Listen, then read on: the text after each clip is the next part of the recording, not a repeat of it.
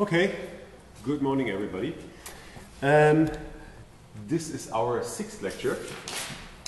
And as you can see, uh, we sort of switching to something else entirely now. Uh, there will also be no recap today, um, basically because what we have been doing last time was uh, an extension of what we did the time prior to our last lecture, and uh, we have talked about this extensively already. Uh, today, I, um, well, first have a look at a couple of images after all. This is a lecture on image processing, and then I'll switch to the whiteboard, do something else than we see on these uh, slides, and then I'll get back to the slides. It's just because otherwise I would have to move the whiteboard back and forth. Let's not do that. So, what are binary images and shapes? Here are some. Uh, what do we see here? What is this? Person. Uh, what is this? And what about uh, this? How do you know this? Think of it. It's, it's amazing. Like, what is this? Why is this a dog and this a cat? How, how is your brain able to do that? Uh, this, this is, uh, is a miracle, right?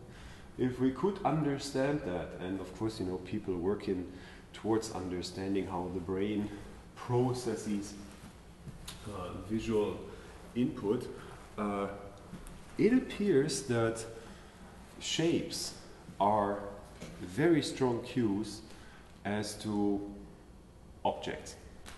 I mean, these, these are highly stylized cats. Because typically a cat would have eyes, it would have uh, um, a certain uh, pattern for the coat. We, we don't see that here. And still we can say this is a cat and this is a dog and, and this has sort of four legs and this has four legs and still we see the difference. Um, we do not yet entirely know how, how that works. Um, and actually, here's the downer. We will not really look into how you know we can work with uh, with shape images for the purpose of object recognition. I am just showing those to you because um, we are interested in the kind of functions that we can use to understand or think about shape images. Right? In particular, uh, these are all binary images. They, they have a certain extension, like so, right? Uh, there is a size of that image, but the colors of the pixels in that image or in those images are just two. Pixel is either white or it is black. In that sense, we call these shape images binary images. And we can think of these binary images in terms of functions as we are used to by now. Uh, these are binary images that map certain coordinates in the image plane well to the set consisting of just two elements 0 or 1. And we say that this function assumes a value of 1 if the corresponding coordinate is a foreground pixel and a value of 0 if it is a background pixel. Now this is strange because um, so far we always said black is 0 and white is 255. Well, you know, we can, we can um, if actually if you store such an image you know, in the memory of your computer or write it to disk, um, you may actually really store it as a binary um, data file, or uh, you could, you know, read a gray value image containing just two gray values, white and black, and then compute uh, 255 um, divided by no uh, the number uh, whatever the um, uh, you can have, uh, okay now I'm, I'm, getting confused here. But you can turn these gray value images into binary images. I'll show you the transformation next time. Right. so there's no problem. Conceptually we can think of them like that. And um, again, the difference is that the foreground pixels are the black ones now. What I really need, and this is why I'm showing you these images at, at the beginning of today's lecture, is the fact that we can think of functions like that, like this as indicator functions. And indicator functions played a certain role in our last semester on image processing. And here, consider this. Say we were given a set consisting of two-dimensional points, x1 up to xn. So that is to say each of these two-dimensional vectors consists of two entries, uh, an x entry and a y entry. And the function I defined here could also be defined with respect to such a set. We could say um, for any x, this function assumes a value of 1 if that x is in the set. Otherwise, it assumes a value of 0. Here is yet another funny way of how we may think of it. We may think of it as a superposition of lots of delta functions. Uh, the delta function is an old friend of ours. We discussed it extensively in the uh, last semester. Uh, once again, what I need here is the fact that we can think of the image function as an indicator function. So let's be clear about this. Here, we say there is a function that takes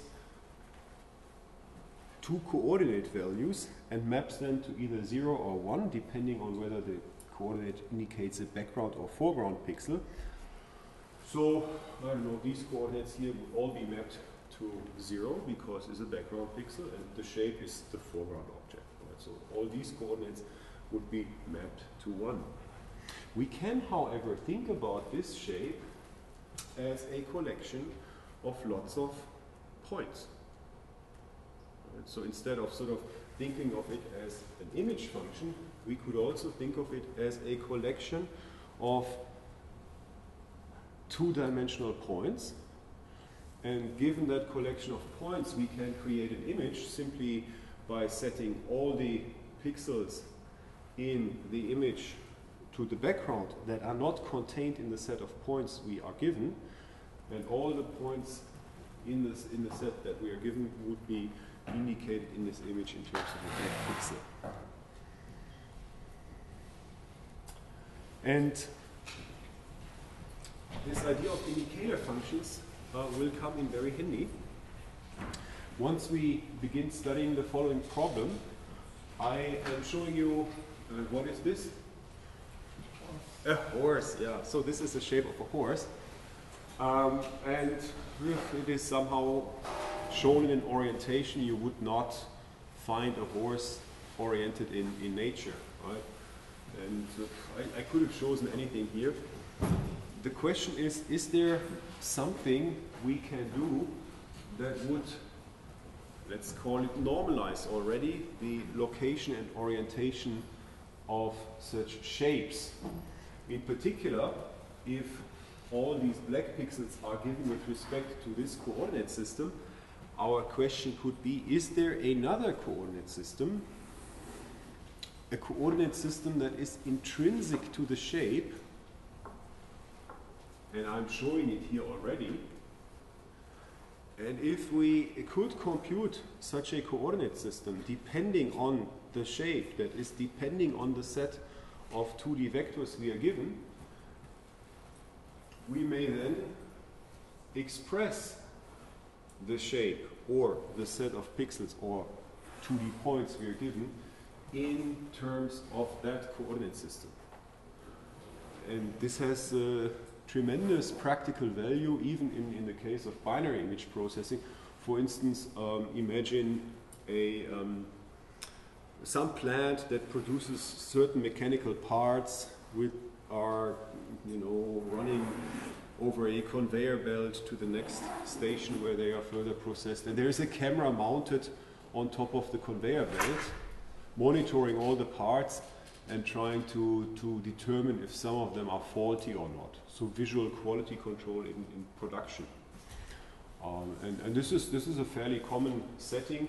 And what they typically do is actually, you know, the images the camera records of the objects moving below on the conveyor belt are turned into shape images, and then they we have certain ways of processing those shapes to figure out if everything is okay with that part or not.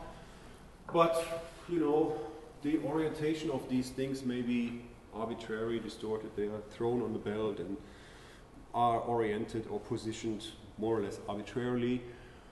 So therefore, it would be good if, you know, given such an image of such a mechanical part that is to be controlled for, for faults or not, if you could somehow normalize the content of that image such that all the parts under the camera sort of in the normalized images have the same orientation and location.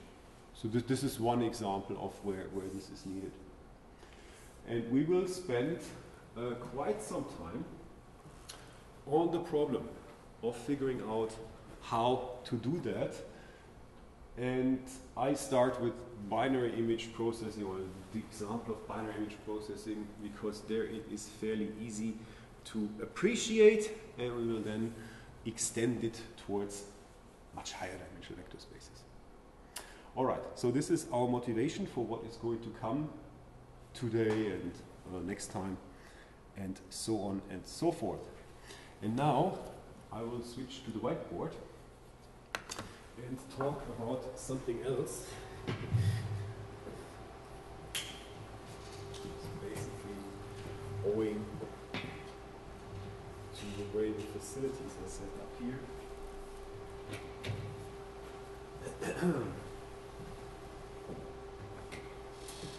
um, because I felt I should widen our context a bit. Um, and by that I mean I wanted to point out something about the philosophy of model fitting. Uh, model fitting. You know, this is what we did a couple of times already. The last two lectures we looked at the problem of um, fitting an illumination model to an image, finding, I don't know, a model that would be a good indicator of the global illumination conditions in that image. And once we had determined that model, we would sort of subtract it from the image to get uh, a new image that only contains reflectance information and therefore is uh, is not so much affected by varying illumination. Right? That was an example of model fitting, and um, I, I to talk about model fitting in general for like 10 minutes. So, uh, what is this? In, in general, we can say given a collection of data. Collection of data. And um, by data, I mean, I mean almost anything. In our case, um, the data may be pixels, just as we saw for those binary images, for those shape images, which we can understand as a set of 2D points. So maybe pixels. Um, the data may actually be a collection of images, images, Right? We'll look into that quite extensively later on. Uh, but of course, it may be something that has nothing to do with the content of our lecture, such as, say, stock market indicators. Stock market indicators.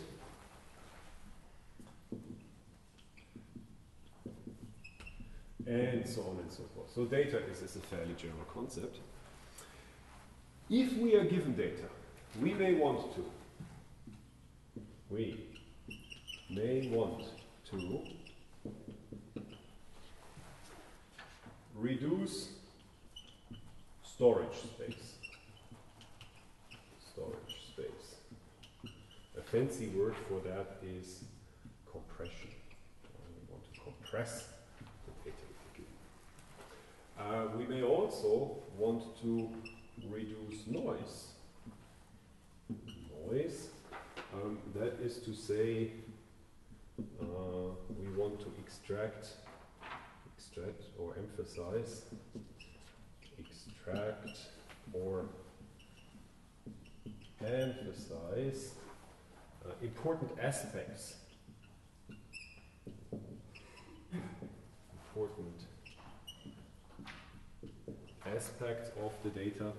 Or finally, we want to may want to characterize characterize general properties or general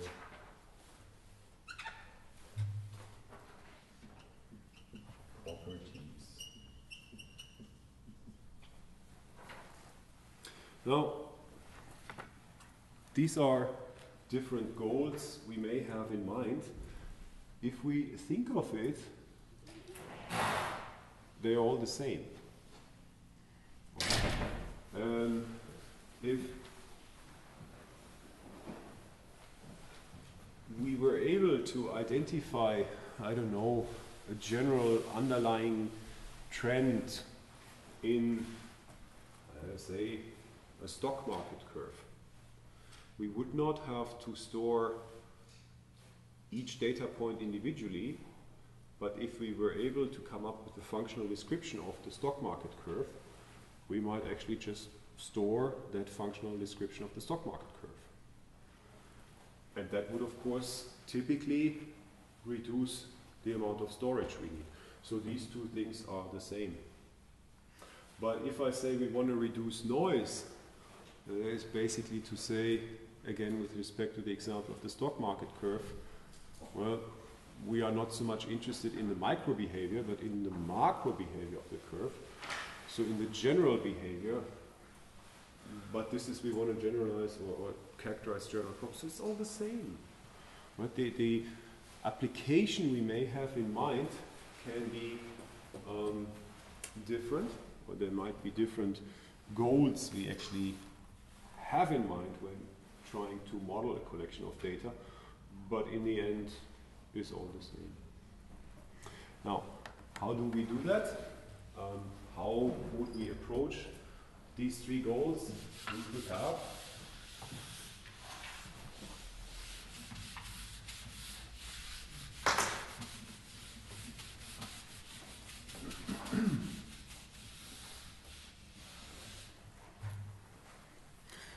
Typical approach is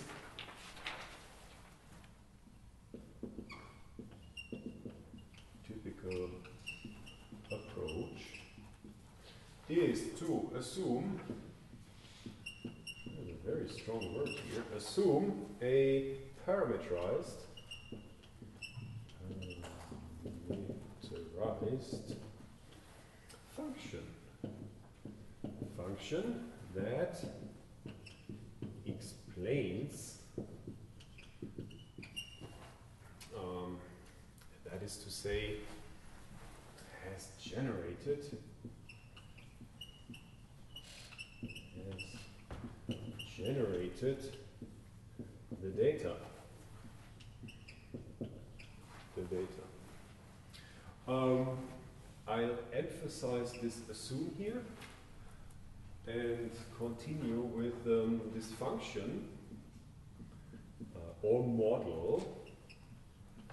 So this is actually this function that we assume is what is called the model in model fitting.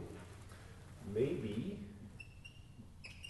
maybe uh, geometric or probabilistic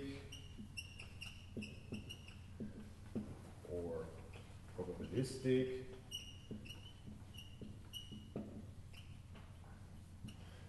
these two terms I am rather close to what we study in this, in this lecture on image analysis. Um, of course, may also be other, other functions or models, but those are the ones most interesting to us.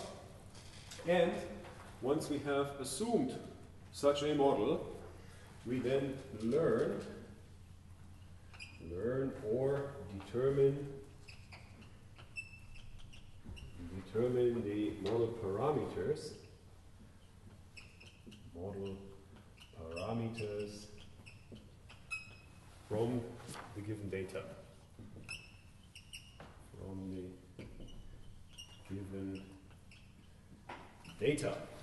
So, and nothing of this is new to you because this is actually what we have been doing uh, a couple of times already.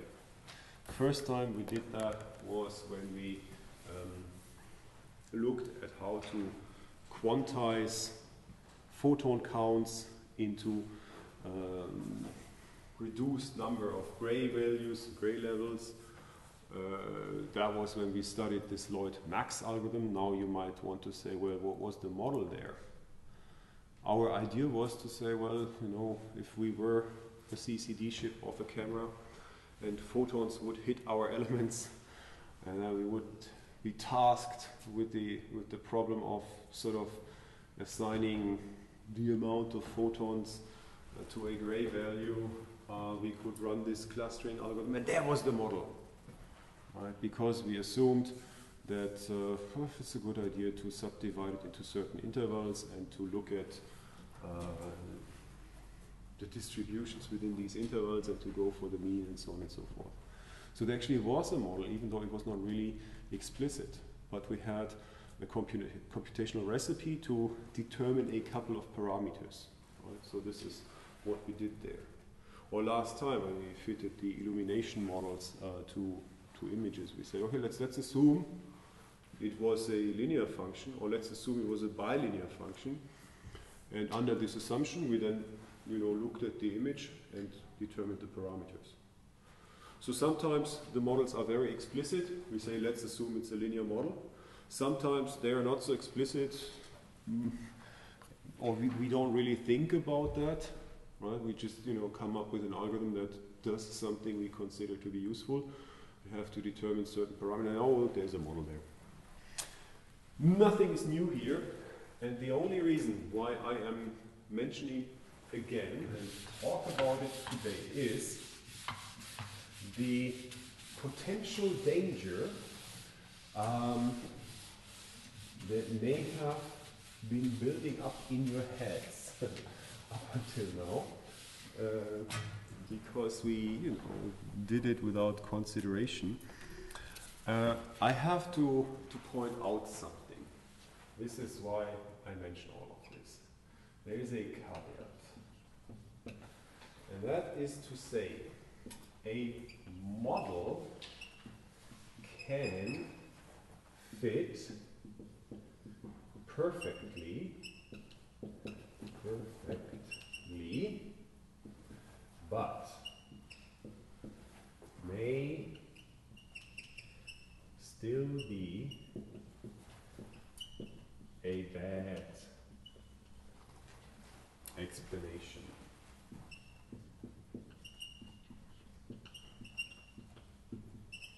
So this, this is this is the message I wanted to hammer home today. And let me therefore underline it as the message I wanted to hit home. Now, what could I possibly mean by that? And here the picture says a thousand words. Let me, let me give you two examples.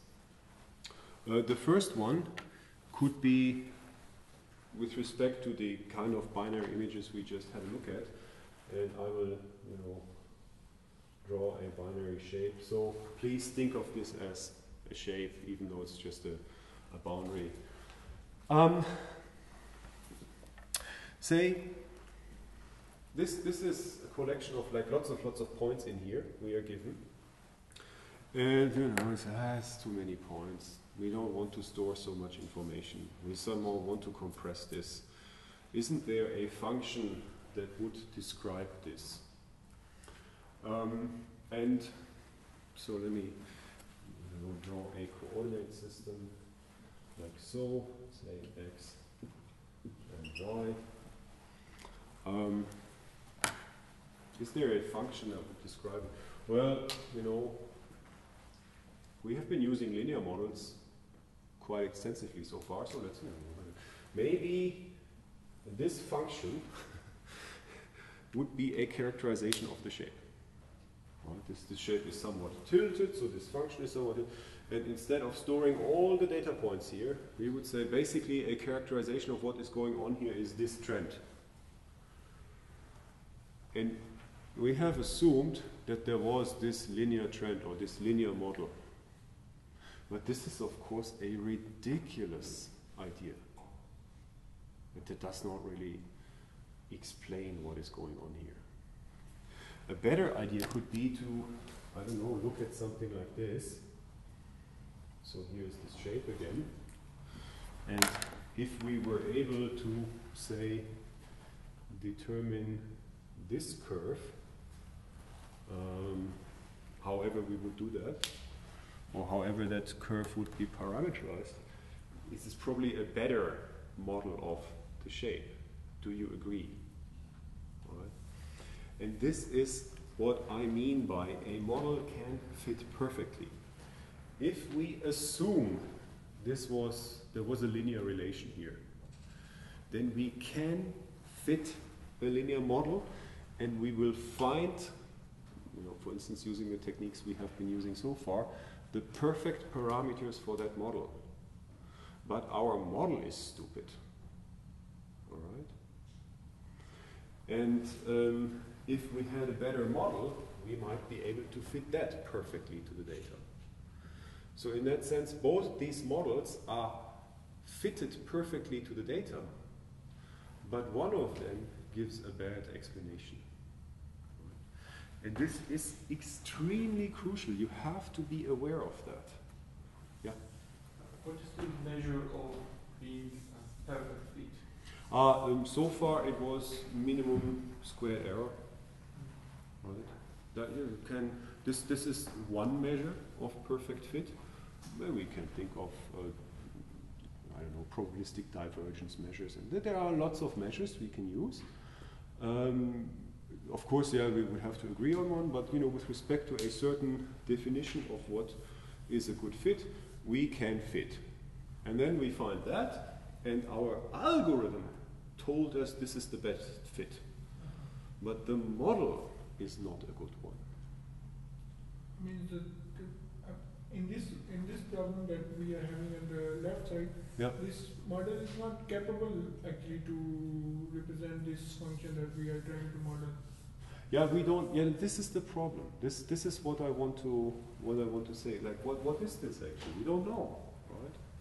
And when we looked at the um, illumination in those images, we don't know. We we really don't know what was the illumination function when the image was taken. We don't know that. And so we, we you know said, no, let's assume it was linear. Okay? As we did here. And then we used an algorithm to determine the best parameters of our linear model, and it gave us certain parameters. And we then might be tempted to say, yay, we have found the perfect fit, which we did. But still, the idea we started out with, let's assume it was linear, might be utterly wrong. Right? And you may be confused by perfectly fit, maybe the overfitting that happens in machine learning Yeah. we are Yeah, this yeah is of course uh, also an instance of um, um, a model may fit perfectly. Right? But what I wanted to stress here, and this is I don't know, can't stress it enough. You must be careful because um, at least to my mind in computer science there is this tendency to to always only think in terms of algorithms right? In terms of okay, so we we, want to minimize the squared error, and uh, like if the function is linear, then those are the best parameters. Done. We are done. We have found the perfect model. We have not. Right? We have we have run an algorithm that did the best it could to fit a model that might be useless or not, you know, as good as it could be. And this is something you have to be aware of. So. Um, don't let yourselves be fooled in, in terms of you know people um,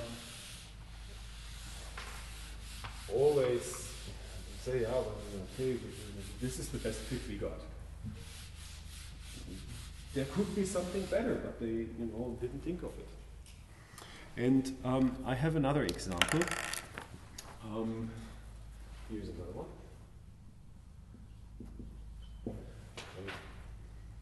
So let's look at, I don't know, something like this, some time series, bang. And I'll, so here is the same picture, this is supposed to be the same picture. Again, they may look different, but you know, get the, the point. So, we could fit a model, like say this, this is the data we are given.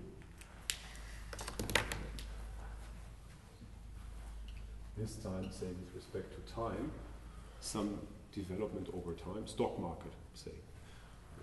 As well. And then we may fit a model, I don't know, like this, uh, whatever say it's exponential growth. Hmm? Or, I don't know, we could say it's some, some form of a triangle function. Which one is better? Is that so? we don't even know. Right? We don't even know. So it is, is definitely, you know, a really good fit for the first two thirds of, of the data we are given, but it, it performs poorly on the last third. Uh, this one is not, it's, it's actually, you know, it's not really so close to the data, but at least it captures the crucial fact that something strange happens here. And um, this is this is to say, let me point that out and I'll get back to this example. So sometimes, sometimes uh, there's not enough data. There is not enough data um, or information, I'll use those terms sloppy interchangeably here, to allow to allow for a good model.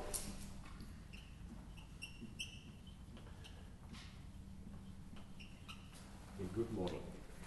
And um, this is this is something that was pointed out by the great mathematician and philosopher uh, Bertrand Russell. And I have chosen these two curves, or like the, the, the black curves, um, with a purpose. He had the example of a turkey, you know, the kind of bird the Americans like to eat at Thanksgiving. At some point, I don't know, the turkey hatches from the egg and is being fed food. And eventually, you know, brain develops, turkey realizes the older I get, the more food I get.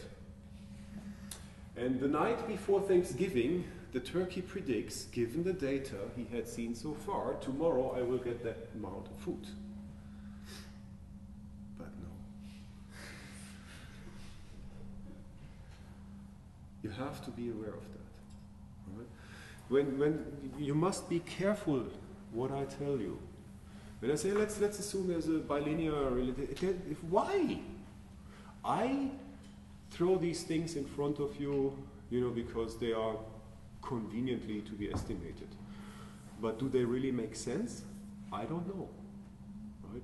Of course, um, I don't throw stuff in front of you that does not make sense whatsoever.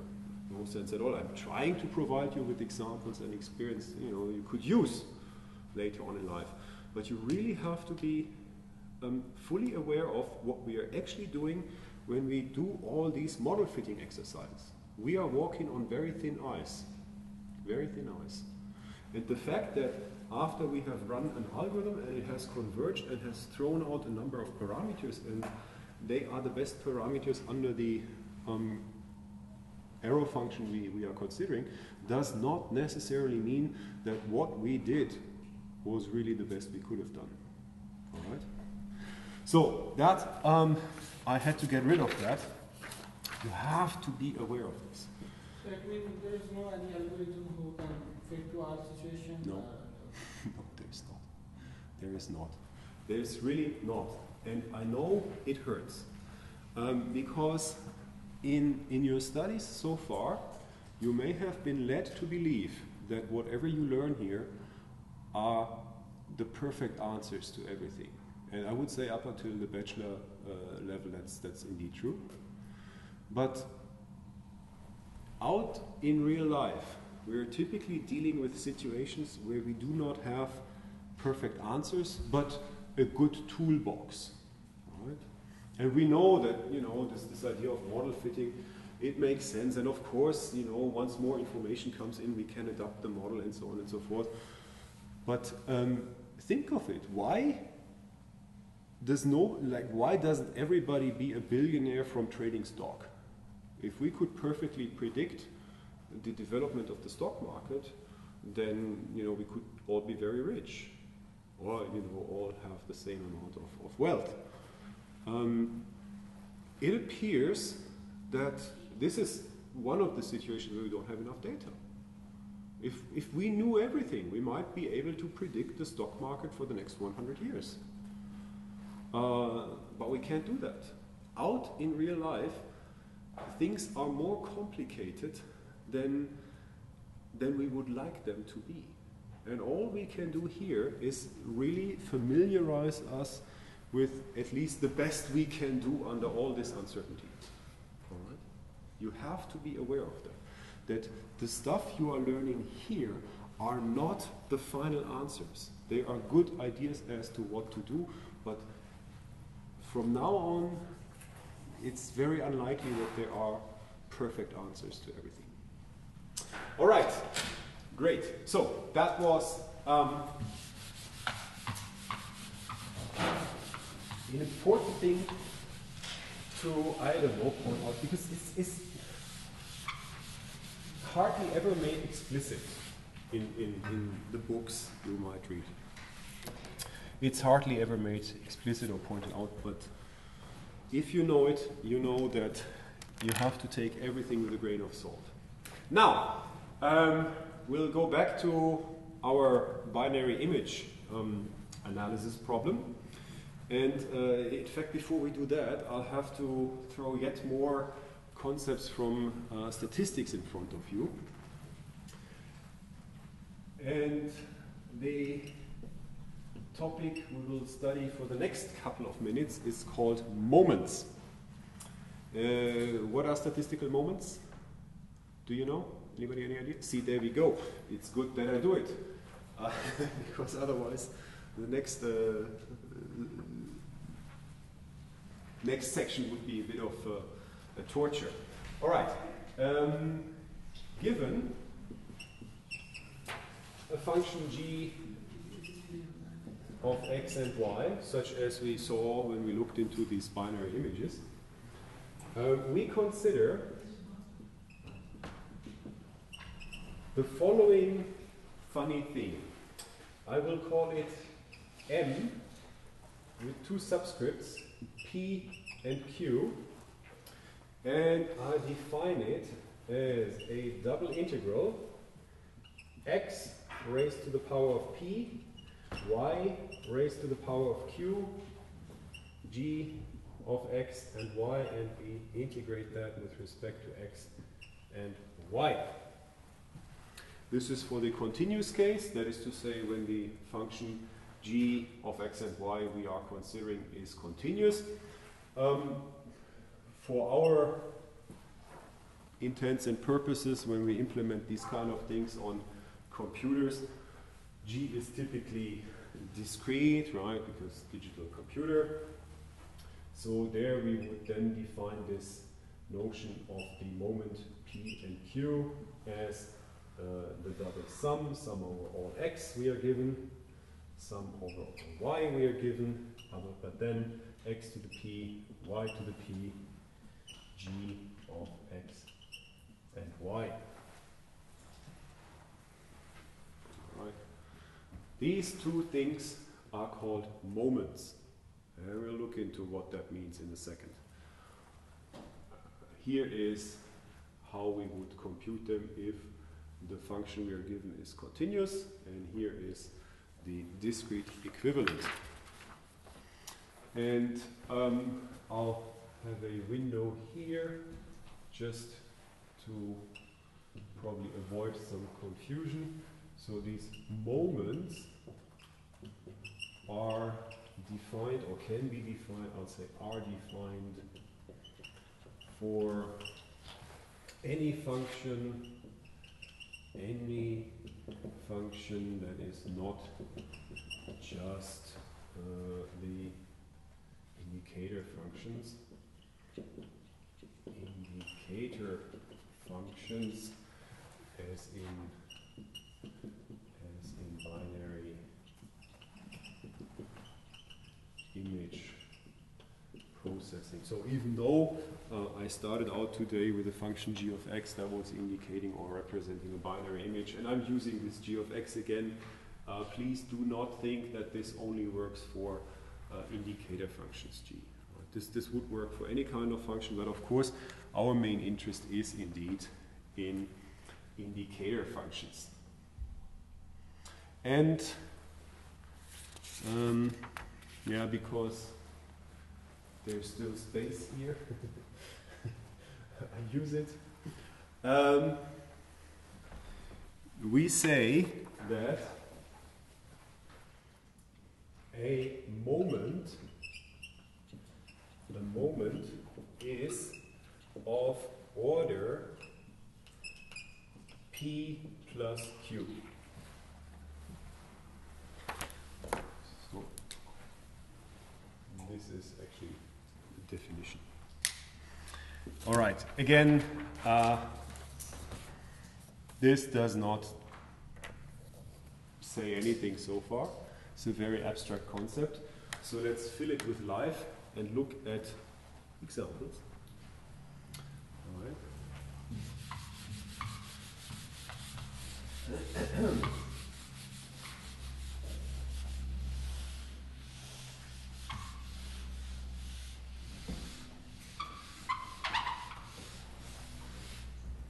and our examples will, at the beginning, deal with binary images.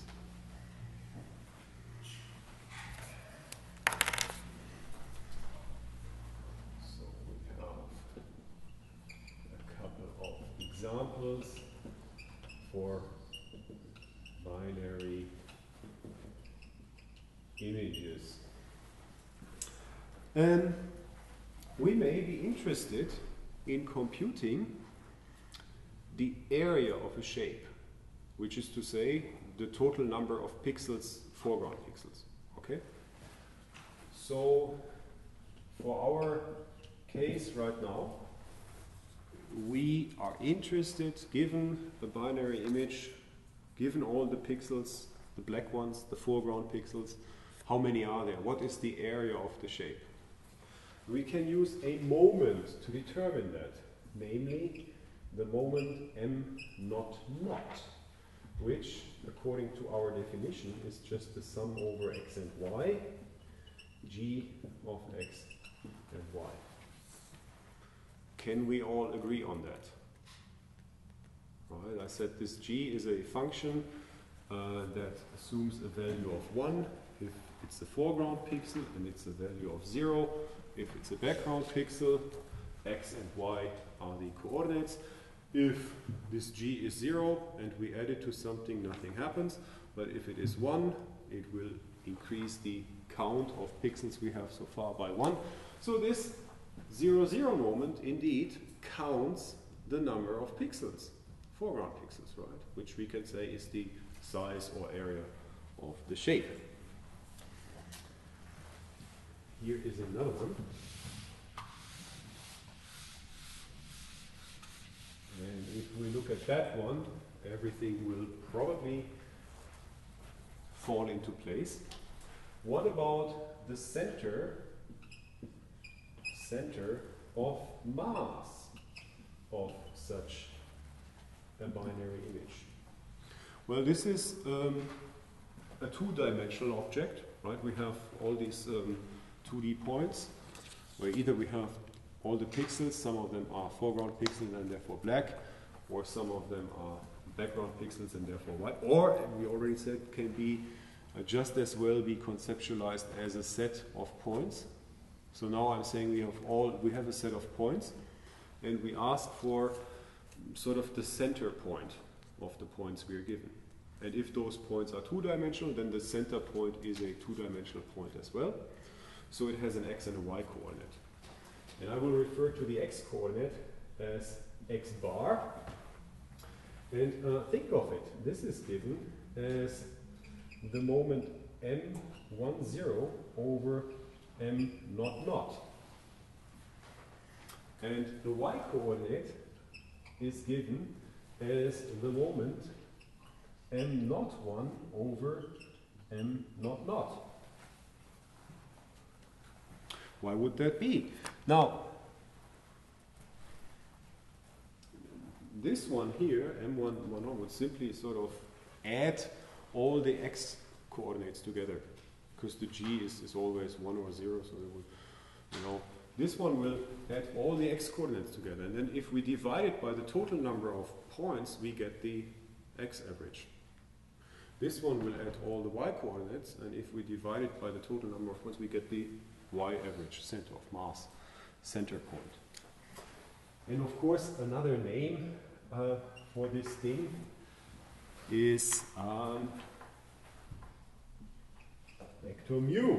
Right? This is something we have studied quite extensively, or at least reminded ourselves about. So this is a two-dimensional vector consisting of x bar and y bar. This is the mean, the mean point of the shape. Uh-huh. It appears that these crazy um, definitions I have thrown in front of you as to what it is when we talk about the moment have something to do with statistics. Right? Let's, let's look at that some more.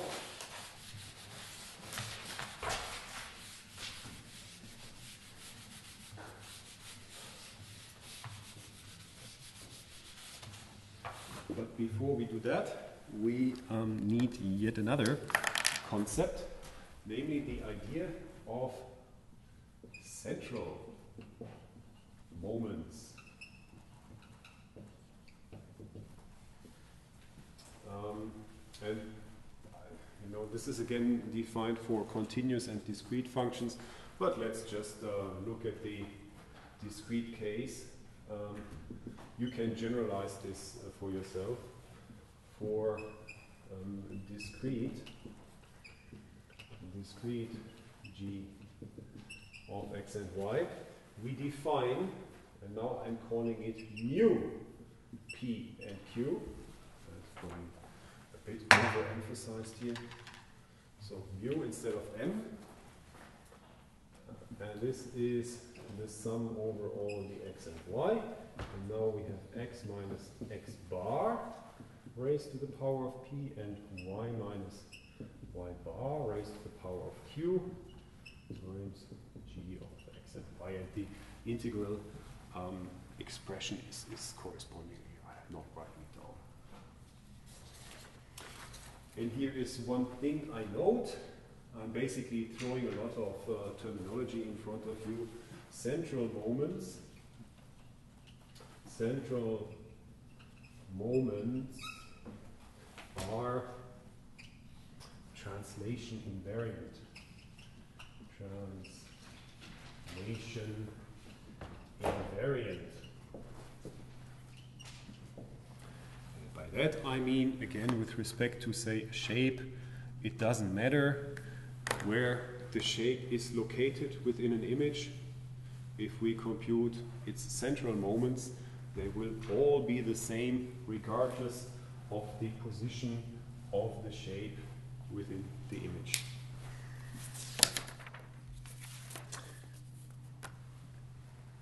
Okay. Um, I sneaked it in, like in passing, that this first order moment uh, has something to do with the mean of, in our case, a two-dimensional uh, collection of points. Uh, then, um, sure, can we take it any further? What about, say, variance? Uh, they, uh, with, c- central moments, are we also sure that they are also independent of orientation of shape or Yeah, just yeah, um, that we are. Um, so I don't know, let's say we have one shape over here, right? And I don't know, one over here, and then let me, I don't know, try to rotate it a bit. The center point, you know, should, should always be the center point. And uh, then if we begin to compute um, moments with respect to the center point, we should be good. Doesn't, doesn't make like, okay, uh, of course this one will have a different variance uh, than the others, but it doesn't make a difference as to where it is located. It, is, it does not, it is not invariant with respect to rotation, but it is invariant with respect to location. And invariance with respect to location is called translation invariance.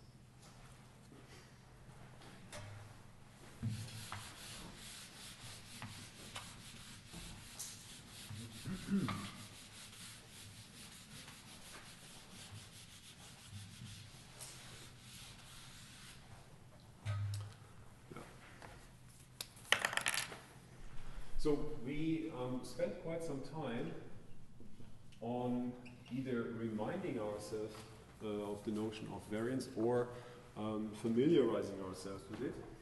Uh, get this, variance can be understood as the second order central moments.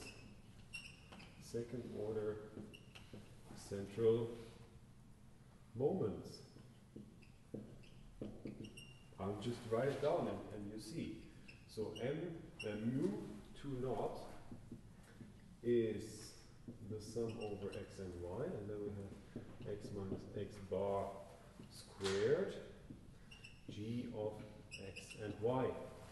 Where is the expression with respect to y? Where has that one gone? Okay, let me- So we would expect that there should be something like y minus y bar, something, and then g of x and y. And it's not there, I dropped it. Why is that? Because this thing is raised to the power of zero, which is to say that this is one. Alright, so the second order, this, the, the order of this thing is two plus zero. Second order central moment with respect to x, the first one is 2, is actually the variance along the x direction. We see that, right? I removed this one here so that we can see it more clearly. Variance along the x direction, I mean. Here. g of x and y. And of course, same would hold for the y direction uh, sum over x and y, y minus y bar squared g of x and y.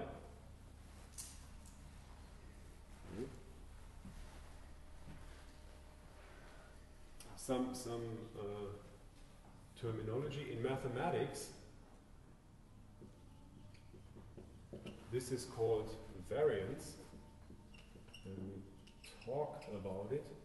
And in physics, this has the name of moment of inertia. And I guess that is where this name comes from. I'm not really sure, but why would these, uh, these functions be called moments? Maybe it is because of their origin in certain physical problems. Um, is there another second order moment? Yeah. Where is it? Why don't I have talked about it yet? Well, I have to, and, and so therefore.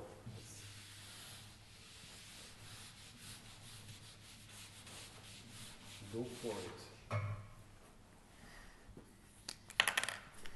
Um, I point out the following. Uh, again, for everything I'm talking about today, in my mind, I have this picture of a set of two-dimensional points, which we can visualize as a binary shape. Right? So, like lots of a set of 2D points, and therefore, when I say point spread, that is the average distance to the average point. Right? Variance. Variance. Uh, this may not be aligned be aligned with the coordinate axes with coordinate axes and so therefore there is this mixed term there is hence we also have this mixed term mu 1 1 which is the sum over all the x and y now x minus x bar x bar times y minus y bar times g of x and y. I I'm dropping the exponent of 1 here, but it's okay I guess. Maybe I should put it in just for to be safe. Right? This is why this is called mu 1 1. And again, this is something we have seen earlier. This is uh, in mathematics. Math, they call it covariance. Or correlation, it doesn't.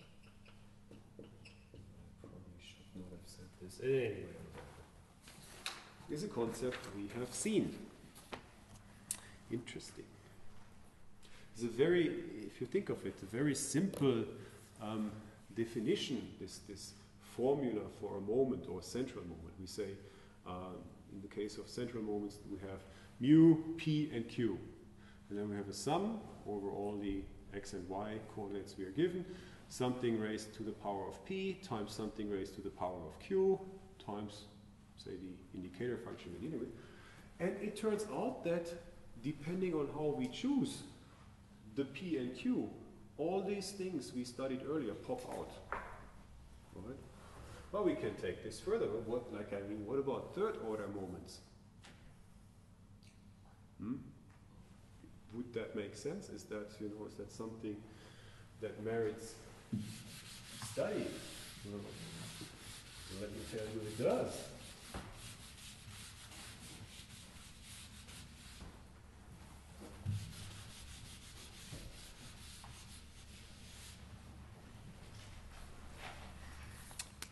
Here's another concept from statistics. It's called skew. Um, this has to do with third order central moments. Moments. And of course, there are many of those. Um, mu 3 naught, mu naught 3, and then mu 2 1 and mu 1 2. Uh, so many, it's not that many, but you know, all these are third order central moments because 3 plus 0 is 3, 2 plus 1 is 3, so there we go. Um, we can compute this, and this is a measure. Measure, or it measures if points are spread evenly, evenly around or about about the mean, or if they trade off, or if they trail off, tail off, tail off to the right, to the right, or left. And again, this is uh, something that is easily illustrated. Let me do it in this window here. Um, and let me, for the sake of simplicity, consider a function of just one variable because if I would have to draw skewed distributions over two variables that uh, dangerous. But you know, if it's just one variable, we can still compute the third order moment of that variable. It's no problem. Um, when I say spread evenly about the mean, I need three examples. X. So evenly about the mean would probably, I don't know, you, uh, I use X bar, safer today. X bar. So I don't know, the Gaussian is something like that. Ah! This is of course not, totally not. Careful. Ah. So this is supposed to be a bell-shaped curve, right? This thing would have no skew. If we were to compute the third order moment, it would evaluate to zero. Um, curve may look like this, or it may look like this. I'll draw another one. And here we actually say it is skewed, skewed to the right, and here skewed to the left. Left. And um, of course we can plot these kind of functions and then we see if they are skewed or not. Uh, but we could also compute the third order moment and uh, depending on a zero larger than zero or less than zero, it would tell us about the skew. This is in the case of one-dimensional variables uh, almost um, overkill, but of course, if we were to compute these things with respect to higher dimensional functions, then uh, it's more difficult to plot those. Okay, um, we are almost done. I wanted to point out yet another one.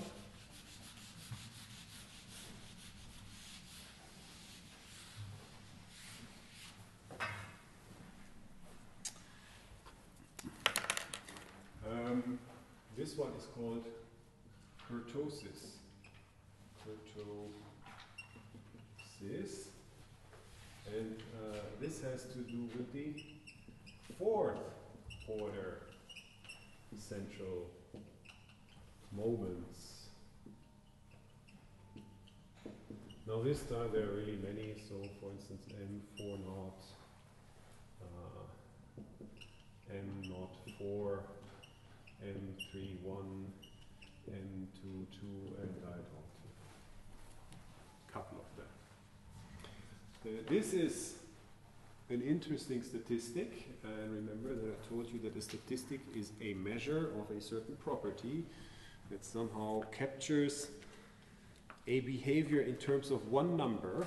So this statistic, the kurtosis, measures, or is a measure, measure of the flatness, flatness of the tail um, of a distribution. Distribution, and we have to understand this with respect to uh, a Gaussian, Gaussian, uh, where the kurtosis, kurtosis is zero. So for the Gaussian, all the higher order moments are zero. It has a mean, it has a variance, and nothing else. It has no skew, it has no kurtosis, it has, and there are more. I mean, like we can continue this up to infinity, right? Um, now, what would that mean? Um, here's another picture which says a thousand words. And again, for the sake of simplicity, I'll consider just one variable. Uh, here is the one example, and here is the other. Uh, function may look like, like so. I don't know, like so, or like so. Can we agree that they behave rather differently. Yeah. So this this one basically drops off to zeros fairly at, at some finite interval. And this one will probably continue to all infinity and never really actually reach zero quickly. Uh, this one here is called a Plati. Uh, I'm just, you know, Plati Kurtic. Plati Kurtic. And this one here is called Leptokurtic. Leptokurtic. These are all Greek words. Uh, this has negative kurtosis, negative kurtosis, and this one has positive kurtosis.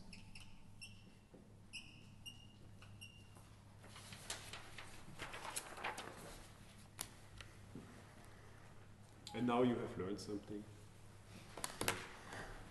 This is, yeah, you know.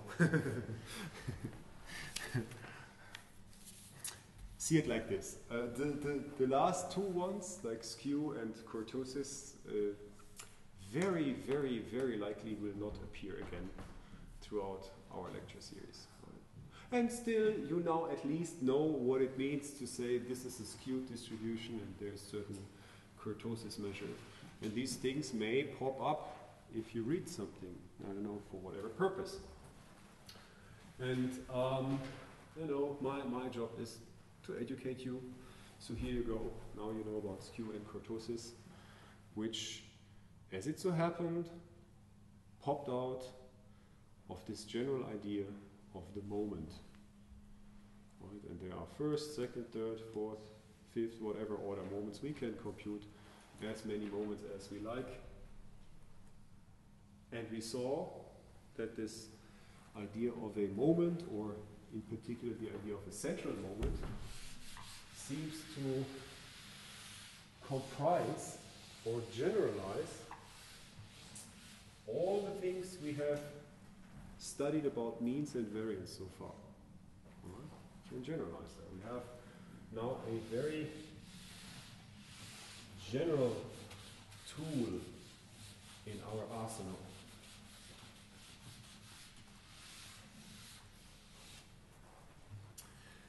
Okay, and now, um, how much time do we have left? Let me see. It's too too early to call it quits, so let's. Okay, let's uh, let's go back. Hmm, I'll, I'll do it like this.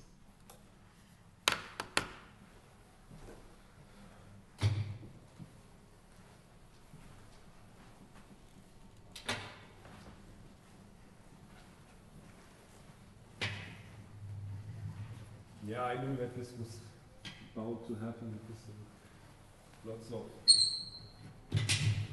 different stuff I wanted to tell you about, and actually lots of important stuff. But, uh, so, um, remember that I said an interesting problem to ask, or question to ask, and problem to study is if we are given a set of points which, as it so happens, look like the shape of a horse. All right? But from now on, we may think of this as just a collection of points. In our case, those are 2D points. And uh, they live in a certain coordinate system. This is somehow, they have been measured. Let's say a picture has been taken and binarized. And the camera was positioned somehow and the object was positioned somehow and depending on the camera positioning we have fixed a coordinate system and now the set of points lives in this coordinate system and it is somewhat shifted and rotated and not it is not in, a, in an orientation and location we would say this is mm, invariant with respect to the shape. The question we could ask is, can we come up with a coordinate system that is produced by the points themselves. But this, this coordinate system sort of that represents the camera coordinate system is something the object or the points have no control over. But is there something I would say, hmm, the set of points themselves, the set of points themselves would provide us with a way of talking about the points. Who knows what I'm after here? Okay. Um, it's good that you don't answer that question because otherwise it would be very boring for the next two lectures. I have already indicated such a coordinate system. And in the last semester, we spent quite some time on talking about transformations between coordinate systems. And um, I have not told you where those coordinates come from yet. But of course, we know that if we had them, that is, if we had an origin and the directions of the two coordinate axes, we could change our point of view from like you know looking on like this by uh, first moving our point of view to the center of that and then rotate our point of view correspondingly. And if we do that, we see the horse like this. Right? This is what we spent a lot of time on in the first course on this lecture, in this lecture series. And we will now begin to study how to get this particular coordinate system. And um, in order to study that, there are many different ways of how we can do this. And it is no lie if I tell you that what we will do in the next two to three to four, I don't even know yet, lectures is by far the most important thing we do throughout this semester. If you can wrap your head around that, you're good. You have learned something profound. What you will be learning is the question how can we get this local coordinate system that is, in a sense, defined by the data itself? And we'll look at it, first of all, from the perspective of physics. Once we have done that, we will take it into more mathematical realms and, and look at different derivation of how to get this coordinate system. And when I say we first look at it from the point of view of physics, what I am interested in is to determine the axis of maximum inertia of that set of points. All right. And um, maybe you take a sketch of this figure, because then I don't have to show it again next time. Uh, we can start right away. So what we see here is a set of points. It's, it's sort of a continuous set of points now. It's not a discrete binary image, but I have created some set of points and it is shown in terms of these gray shaded two circles, whatever. It's, it's, it's a two-dimensional connection of, it's a collection of two-dimensional points.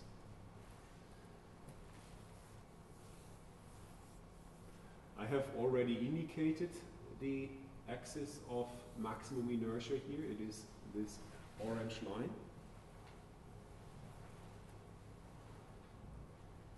And the direction of this axis can be indicated by a vector d, I know, for direction. And that vector d encloses an angle of theta with the x-axis. I have also indicated a point P on this line and this point is actually the point, the closest point on the line to the origin. This is the point that is closest to the origin because this line segment here is, is perpendicular. And the length of this line segment is called rho, Greek letter rho. And here the angle theta reappears. And finally, there are two points. One is called x naught, is another point on the line. And one is called x, which is one of the many, many points living in this gray area here. And the distance between x and x naught, where x naught is the closest point on the line to x, is called r.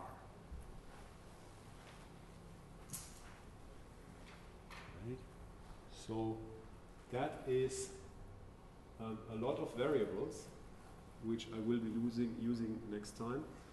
And our question is, um, is there a way for us to compute R? That is what we're going to, to look into. Once we have found an analytic expression for R, we will then ask for, okay, so what about all the points for which R is zero? And uh, those are, of course, the points along the line.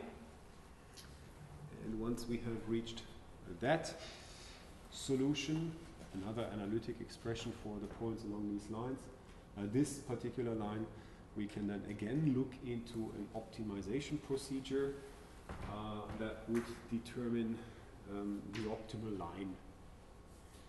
That would us, uh, tell us uh, optimal theta and rho to describe this line. This is uh, this is our menu for next time.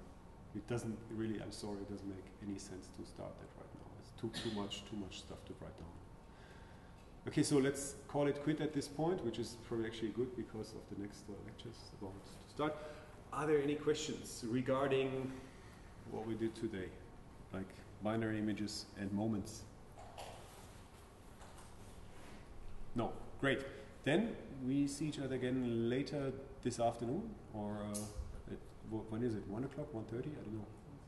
One, one thirty? Or one? One o'clock. All right. It's here, right? In in, in this room. Yeah, whatever. Uh, we'll we'll see again at one o'clock. See you then. Thanks.